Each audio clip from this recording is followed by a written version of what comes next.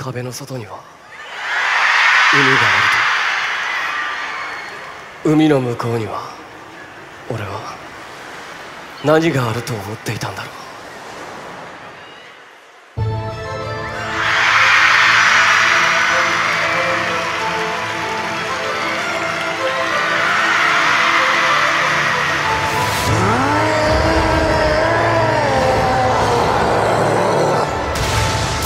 穴を塞ぐ壁になれ。俺は俺にできることをする。俺のために死んでいった命のために。それなのに調査兵団の壁外調査は全面凍結された。理由は俺とヒストリアの存在だ。俺たちを狙う大きな力が動き始めたからだ。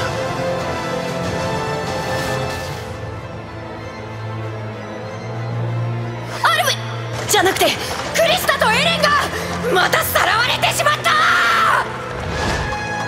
大丈夫か？あいつ絶対に俺に似てねえのに。馬面。なのに。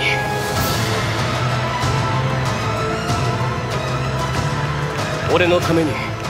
仲間は今も危険にさらされ続けて。いるけど俺たちはあっけなく捕まってしまった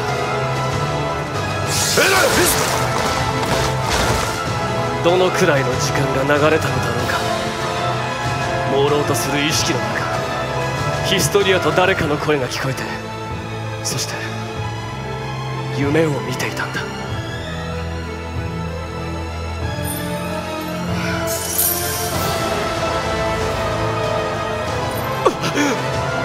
なんだ？俺はここに来たことがある。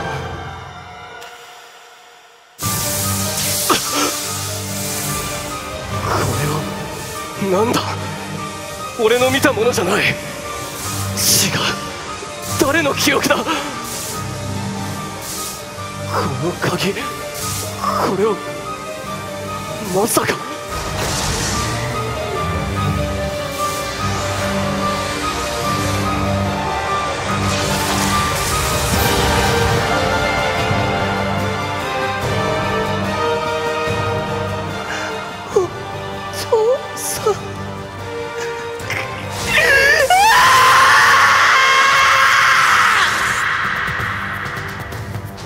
の小さな世界は変わろうとしている。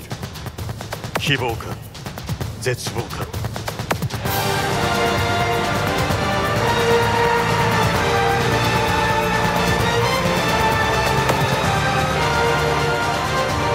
エルヴィン・スミス。人類憲章第6条に違反ありと認め死刑に処す。王政が欲しているのはエレンの巨人の力。そして王家の血を継ぐヒストリー。その真の目的はわからないがエレンの引き渡しを拒否した私は処刑され調査兵団は解体され私はある賭けに出た。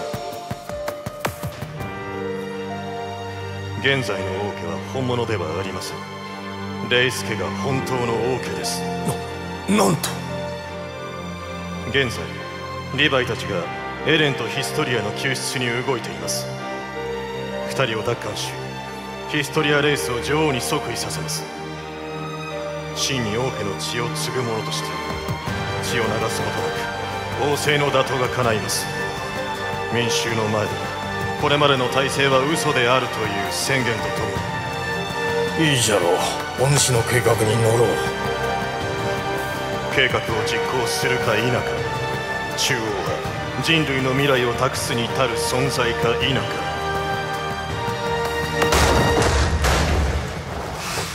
ボールローゼが突破されました！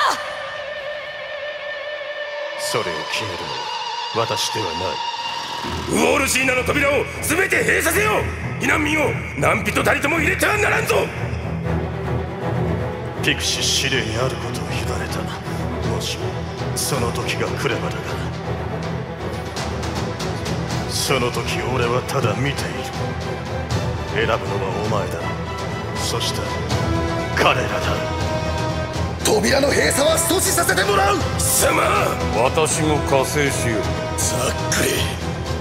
先ほどの報告は誤報です。ご安心ください。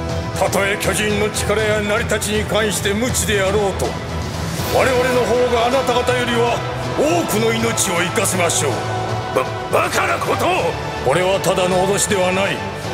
クーデターじゃ。これで今の体制は崩壊する。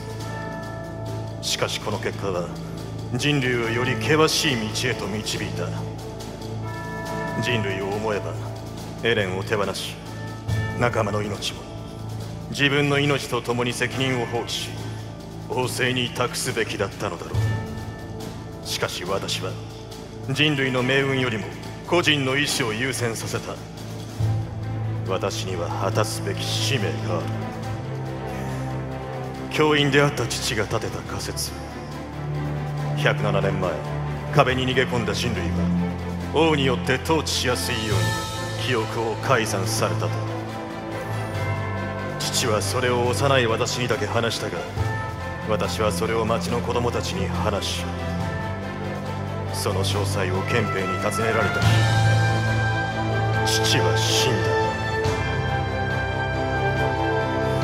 だ。私の密告により父は王政に殺されたのだ。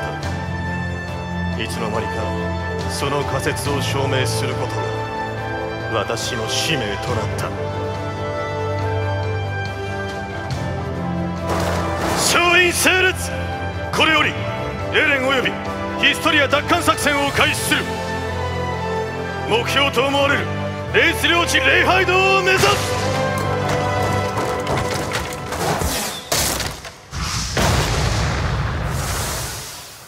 24、32敵数35作戦続行。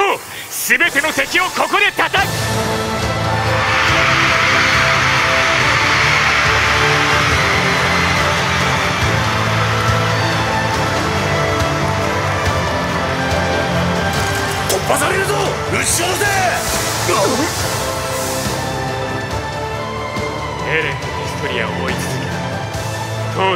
までたどり着いたどうやら中央はエレンを巨人に食わせてエレンの力を移植したいらしい実行されたら壁の穴を塞ぐ計画も台無しだもう時間は残されていないここは突破するしかねえしかし奴が現れないはずはない。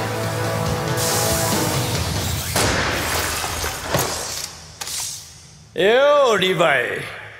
本当はおめえに構ってる暇なんざねえんだがここを突破されちゃ元も子もないんだな。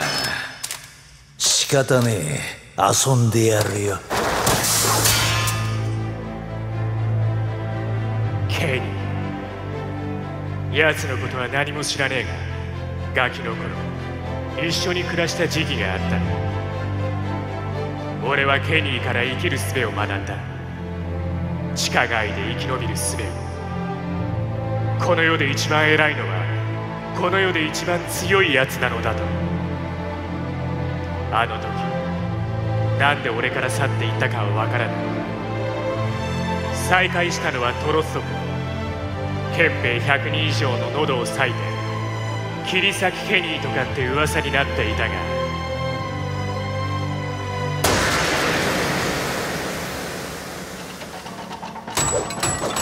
なぜか憲兵の姿で現れた。ケニ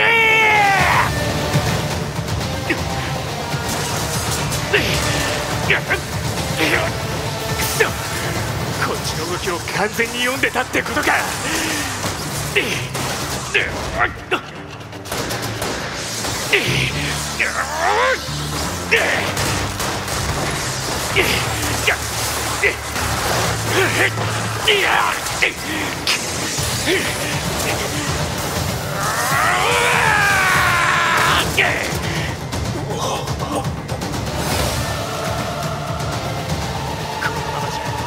エレンやヒストリア部下も失うことになる。何が正しいかなんて俺にもわからなかった。だがこの時から巨人だけじゃなく人間を相手に戦うことあいつらに強いることになっちまったそうでなければエレンは食われる。エルヴィンの調査報告書にあった。レイス教領地の礼拝。堂ようやくここまでたどり着いたのだから。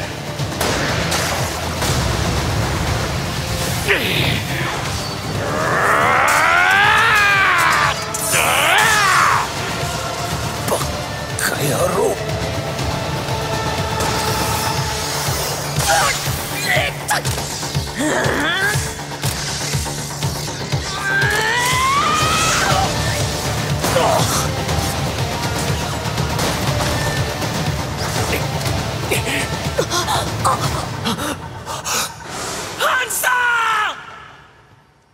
どうだ？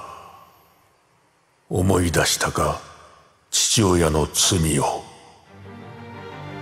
そうか。あれは親父の記憶。5年前ヒストリアの姉さんは食った。無敵の力を持つ巨人を食ってその力を奪い家族を皆殺しにしたんだ。いらなかったんだ俺も俺の親父も親父が巨人の力をあるべきところから盗んだせいで一体どれだけ人が死んだ？いらなかったんだよ。あの訓練の日々も。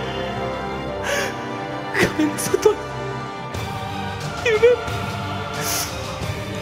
だからせめてお前の手で終わらせてくれ。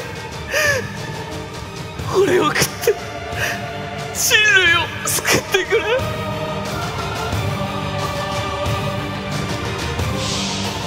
お前。いいことしようとしてるだろお前胸張って生きろよ。何が起きているのかわからなかった。ヒストリアは巨人化することを拒み。もうこれ以上私を殺してたまるか！俺を助けようとして一瞬のことだった。レイス教が巨人化していた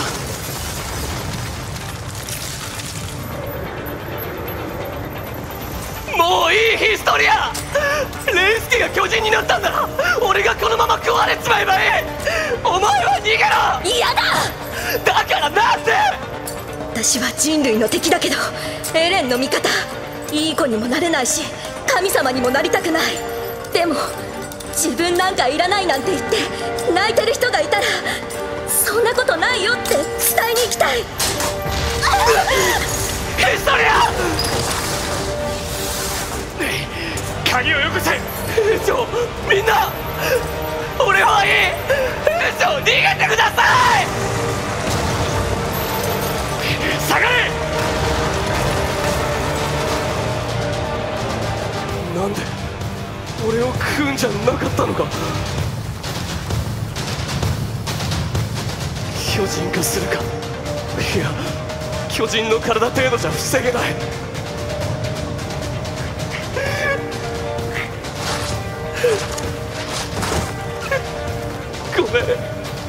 みんな。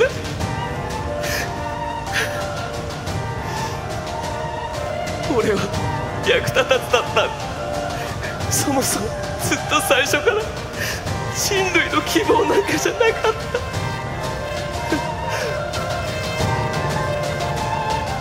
鎧。アイドル。お前にばかりすまなく思う。エレン。好きな方を選べ。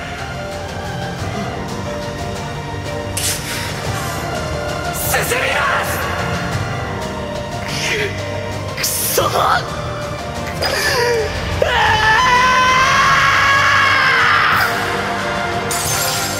ごめんなさい。最後に一度だけ許してほしい。自分を信じること。を全員エレンの鍵に入れ。エレ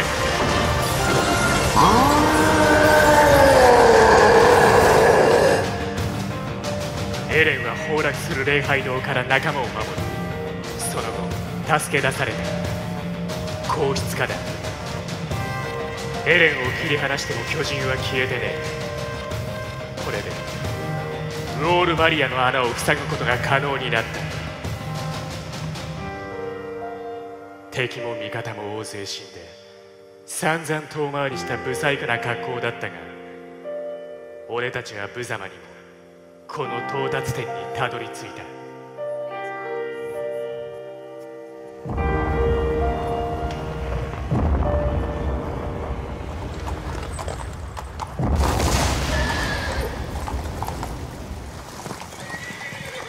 エルビみんな無事か？ハンジのみ負傷だ大事には至ってないようだな。みんなよくやってくれた。報告することは5万とあるがまずあの巨人は？ロッドレイスだお前の意見を聞かねえとな団長う。るせえ！私はオルブドックに向かったロッドレイス巨人。住民をおとりにして壁に引きつけ直接攻撃を行う作戦に出た。エレンの力ではあの巨人を動かすことができなかったからだ。止まれ。巨人おい止まれてめえに言ってんだ。聞こえねえのかバカ野郎。ロッドレイスお前だ。この地名や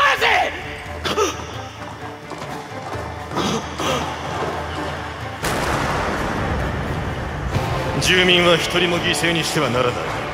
敵情固定法で倒せない場合は調査兵団最大の兵力を駆使する。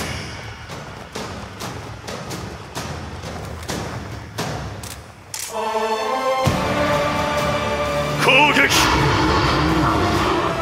開始！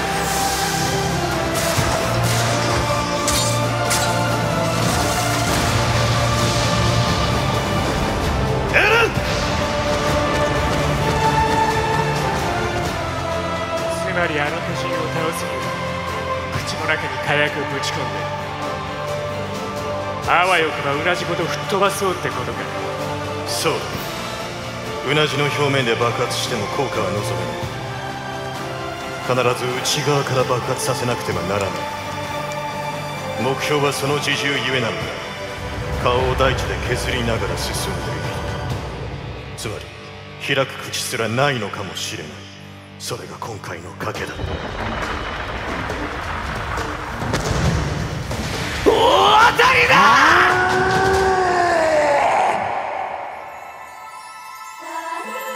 父さんは言っていた。ミカサやアルミみんなを救いたいならこの力を支配しなくてはならないと。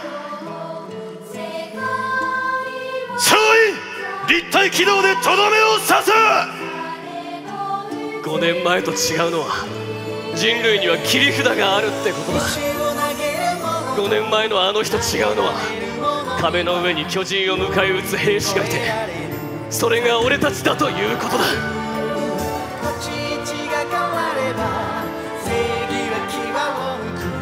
俺のせいもアッカーマンらしいな。あんた本当は母さんのなんだ。バカがただの兄貴だ。